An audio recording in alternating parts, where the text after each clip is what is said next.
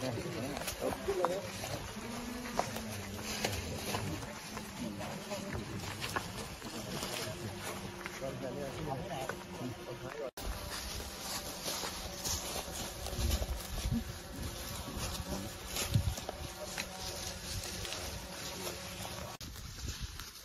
ำทุกลายแ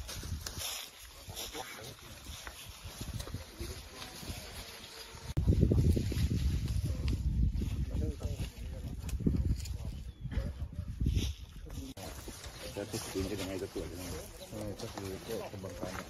คือทำไมที่เขามามาจับเนี่ยเขา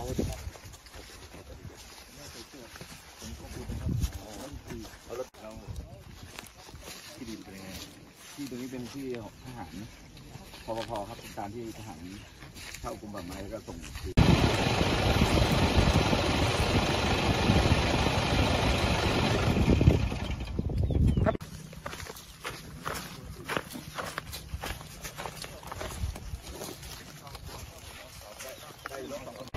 เขียน ไว้าไม้ตัวเนี้ยเป็นเผา